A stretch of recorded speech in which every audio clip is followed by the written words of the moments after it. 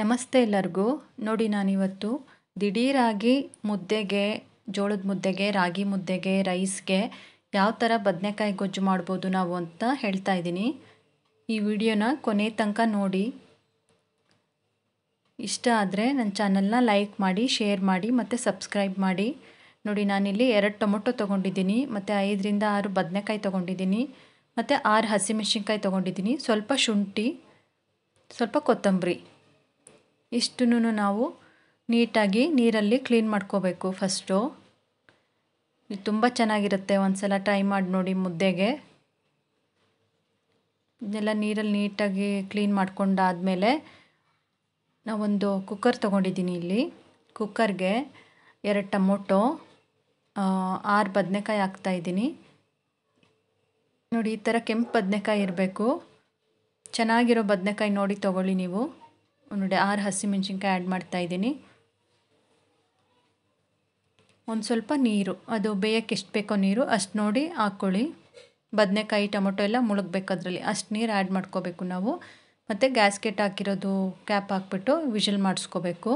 ಇದು ನಮಗೆ ಮೆತ್ತಗೆ ಬೇಯಬೇಕು, ಅದಕ್ಕೆ ನಾಲ್ಕು ವಿಷಲ್ ಮಾಡಿಸ್ಕೊಂಡಿದ್ದೀನಿ ಕುಕ್ಕರ್ ತಣ್ಣಗಾದಮೇಲೆ ಕ್ಯಾಪ್ ಓಪನ್ ಮಾಡಿಬಿಟ್ಟು ಇದಕ್ಕೇ ಇದನ್ನು ಟೊಮೊಟೊ ಬದನೆಕಾಯಿ ಎಲ್ಲ ಬೆಂದಿರುತ್ತಲ್ಲ, ಅದನ್ನು ಒಂದು ಪ್ಲೇಟಿಗೆ ತಗೋಬೇಕು ನಾವು. ಹಸಿಮೆಣ್ಸಿನ್ಕಾಯಿ. ಇಷ್ಟು ಒಂದು ಪ್ಲೇಟ್ಗೆ ತೆಗೆದುಬಿಡಿ. ಆ ನೀರೇ, ನೀರೇನು ಯೂಸ್ ಮಾಡೋಕ್ಕೆ ಹೋಗಬೇಡಿ. ಇದಷ್ಟೇ ಬೇಕು ನಮಗೆ ಬೆಂದಿರೋದು ಬದನೆಕಾಯಿ, ಹಸಿಮೆಣ್ಸಿನ್ಕಾಯಿ, ಟೊಮೊಟೊ. ಅದು ತಣ್ಣಗಾಗೋ ಅಷ್ಟರಲ್ಲಿ ಮಸಾಲ ಮಾಡ್ಕೊಳ್ಳೋಣ. ಅರ್ಧ ಬೌಲ್ ಕೊಬ್ಬರಿ, ಕೊತ್ತಂಬರಿ, ಸ್ವಲ್ಪ ಅರ್ಧ ಈರುಳ್ಳಿ, ಸ್ವಲ್ಪ ಕರಿಬೇವು, ಸ್ವಲ್ಪ ಶುಂಠಿ, ಬೆಳ್ಳುಳ್ಳಿ, ಹಸಿಮೆಣ್ಸಿನ್ಕಾಯಿ ಅಲ್ಲ ಸಾರಿ ಹಸಿಮೆಣ್ಸಿನ್ಕಾಯಿ ಎಲ್ಲ ಸ್ವಲ್ಪ ಖಾರ ಪುಡಿ, ಕಾಲು ಸ್ಪೂನಷ್ಟು ಹಸಿಮೆಣ್ಸಿನ್ಕಾಯಿ ಎಲ್ಲ ಹಾಕಿರ್ತೀವಿ. ಸ್ವಲ್ಪ ಖಾರ ಪುಡಿ ನೋಡಿ ಹಾಕ್ಕೊಳ್ಳಿ. ಸಾಂಬಾರು ಪುಡಿ ಮತ್ತು ಒಂದು ಸ್ಪೂನ್ ಜೀರಿಗೆ, ಸ್ವಲ್ಪ ಅರಿಶಿನ ಹಾಕ್ಬಿಟ್ಟು ನಾವು ಮಿಕ್ಸಿ ಮಾಡ್ಕೋಬೇಕಾಗುತ್ತೆ ಇದನ್ನೆಲ್ಲ. ನೋಡಿ ಇದನ್ನು ಮಿಕ್ಸಿ ಮಾಡ್ಕೊಳ್ಳಿ. ಫಸ್ಟು ಸ್ವಲ್ಪ ತರಿ ತರಿಯಾಗಿ ಮಾಡ್ಕೊಳ್ಳಿ. ಇದಕ್ಕೆ ಒಂದು ಅರ್ಧ ಗ್ಲಾಸಷ್ಟು ನೀರು ಆ್ಯಡ್ ಮಾಡಿಕೊಂಡು ಮತ್ತೆ ಮಿಕ್ಸಿ ಮಾಡ್ಕೋಬೇಕು ನಾವು. ಫುಲ್ಲು ಸಣ್ಣಗೆ ಪೇಸ್ಟ್ ಮಾಡ್ಕೋಬೇಡಿ. ಸ್ವಲ್ಪ ತರಿ ತರಿ ಇರಬೇಕಾಗುತ್ತೆ ಇದು. ನೋಡಿ ಇವಾಗ ಇದು ತಣ್ಣಗಾಗಿದೆ. ಬದನೆಕಾಯಿ ಎಲ್ಲ ಒಂದು ಸಲ ಚೆಕ್ ಮಾಡ್ಕೊಳ್ಳಿ. ಏನಾದ್ರು ಹುಳ ಇದ್ದರೆ ಕ್ಲೀನಾಗಿರಲಿಲ್ಲ ಅಂದರೆ ಅದನ್ನು ತೆಗೆದುಬಿಡಿ ನೀವು ಬದನೆಕಾಯಿನ. ಮತ್ತು ಇದು ಟೊಮೊಟೊನು ಚೆನ್ನಾಗಿ ಕ್ಯೂಚ್ಕೋಬೇಕು. ಎಲ್ಲದನ್ನು ನೀಟಾಗಿ ಕ್ಯೂಚ್ಕೊಂಬಿಡಿ ನೀವು. ಮಿಕ್ಸಿಗೆ ಬೇಕಾದ್ರೂ ಹಾಕ್ಬೋದು, ಆದರೆ ಫುಲ್ ಪೇಸ್ಟ್ ಆಗಿಬಿಡುತ್ತೆ ಅಂತ ನಾನು ಕ್ಯೂಸ್ತಾ ಇದ್ದೀನಿ.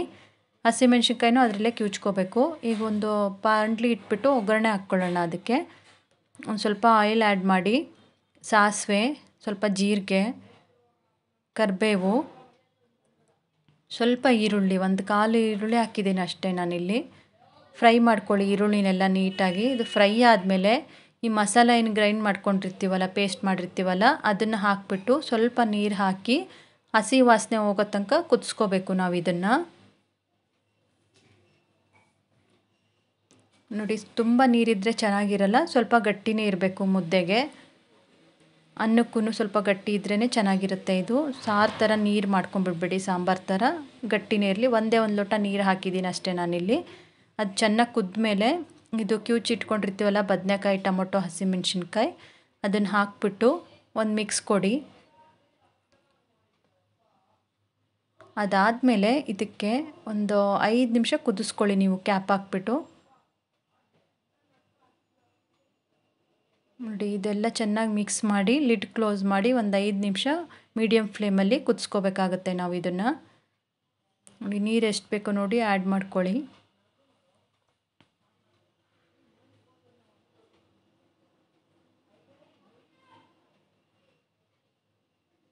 ಇದನ್ನು ಇವಾಗ ಕುದಿಸ್ಕೊಂಡು ಆದ ಕ್ಯಾಪ್ ಹಾಕ್ಬಿಟ್ಟು ಲಿಡ್ ಕ್ಲೋಸ್ ಮಾಡಿ ಕುದಿಸ್ಕೊಳ್ಳಿ ನೀವು. ಈಗ ನೋಡಿ ಕುದೀತಾ ಇದೆ. ಇವಾಗ ಇದು ರೆಡಿಯಾಗಿದೆ ಬದನೆಕಾಯಿ ಗೊಜ್ಜು. ಇವಾಗ ಇದನ್ನು ಬಿಸಿ ಮುದ್ದೆ ಜೊತೆ ಸರ್ವ್ ಮಾಡಿ. ಬಿಸಿ ಬಿಸಿ ಮುದ್ದೆ ಜೊತೆಗಂತೂ ತುಂಬ ಚೆನ್ನಾಗಿರುತ್ತೆ. ಯಾವ್ದಾದ್ರು ಮುದ್ದೆ ಆಯಿತು, ಜೋಳದ ಮುದ್ದೆ, ರಾಗಿ ಮುದ್ದೆ, ಚೆನ್ನಾಗಿರುತ್ತೆ ರಾಗಿ ಮುದ್ದೆ ಜೊತೆಗಂತೂ. ಮತ್ತು ರೈಸ್ ಜೊತೆಗೂ ಸರ್ವ್ ಮಾಡ್ಬೋದು ನೀವು. ನೀವು ಒಂದು ಸಲ ಟ್ರೈ ಮಾಡಿ ನೋಡಿ ಈ ಬದನೆಕಾಯಿ ಗೊಜ್ಜು ನಿಮಗೆ ಇಷ್ಟ ಆದರೆ ನಿಮ್ಮ ಫೀಡ್ಬ್ಯಾಕ್ನ ಕಮೆಂಟ್ ಮಾಡಿ ನನಗೆ ನನ್ನ ಚಾನಲ್ನ ಸಬ್ಸ್ಕ್ರೈಬ್ ಮಾಡಿ ಶೇರ್ ಮಾಡಿ ಲೈಕ್ ಮಾಡಿ. Thank you